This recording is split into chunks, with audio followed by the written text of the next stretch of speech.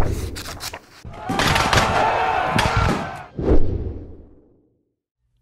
Daily Dosers, Tracie here. Thanks so much for joining us. We're continuing on in our theme of uh, the battle belongs to the Lord. And Larry started us off this week with um, prepare the horse for battle and then the Lord will do the rest of the work. And so I just want to continue on with that thought of like, what does that look like for us to prepare the horse for battle? And I think of a story, um, the whole book of Nehemiah is about the story, but I love how it starts and Nehemiah hears that um, the wall in Jerusalem is in rubble and his people are unprotected from the enemy. And it really gets to his heart. And he weeps and he prays and he prays and asks God to show him favor so that he can go and lead the people to build the wall.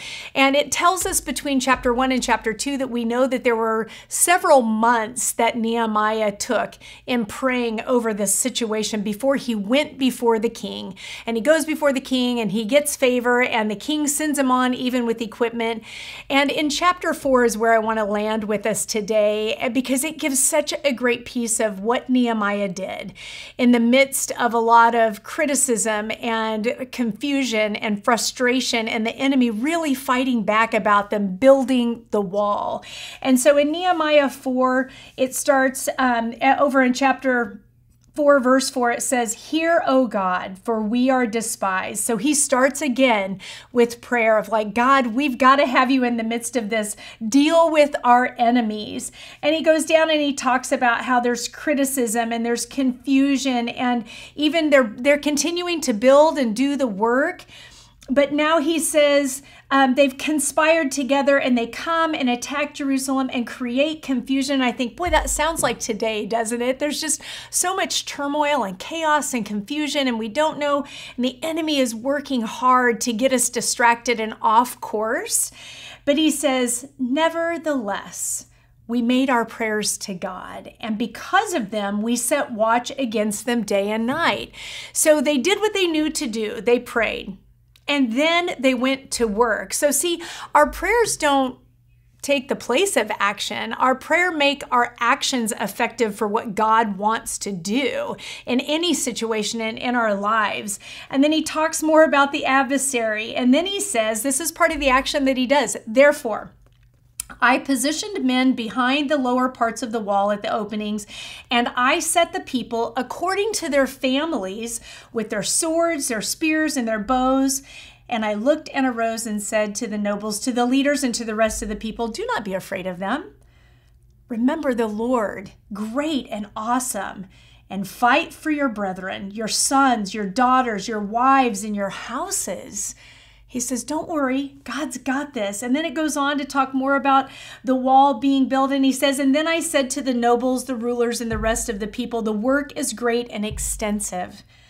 And we are separated far from one another on the wall. Where, wherever you hear the sound of the trumpet, rally to us there, and our God will fight for us. And you know what I think about? I think about these. Um, have several, but hopefully you have at least one of a community of people that will come alongside you and pray for you and with you when a situation happens. I have several, so I have several different threads going or email lists going. And just last week, we had one um, from our life group that said, Hey, will you pray for me? I'm feeling actually at peace, but I sense the enemy is on my heels. Will you all just cover me? And then just this morning before I got here, someone else sent a message in another thread and said, Hey, will you pray for my sister today over in Colorado? She's having surgery and it's going to be really tough. And off it starts of people saying, I'm on it. I've got this. We've got you covered. Some of our, my friends will send actual prayers out. And you may be thinking, you know, I don't think I need all that. I'll pray, but I don't need all that extra. But you know what that extra tells me? It tells me that they are arising and they are setting themselves up on the wall and they are linking arm in arm and they've got their armor and they're covering us. They're preparing and being ready for the battle that the enemy is bringing. And so I am so encouraged by that. And I want to encourage, we just spent a whole week on community and connection and why that's so important that we don't do this life alone. And this is no different. Preparing the horse for battle, that is us linking together. And when I hear and see those threads of people coming through and saying they're praying, it just says, I've got this. I will stand on the wall. I hear the trumpet, and not on our watch will we allow the enemy to do any damage to this, to my sister or my brother or my daughter or family or whomever it is that we're covering. So, who is it that you have on your wall with you that when the trumpet sounds, you can go to them and you can all come together and say, Our God will fight for us? We'll see you next time.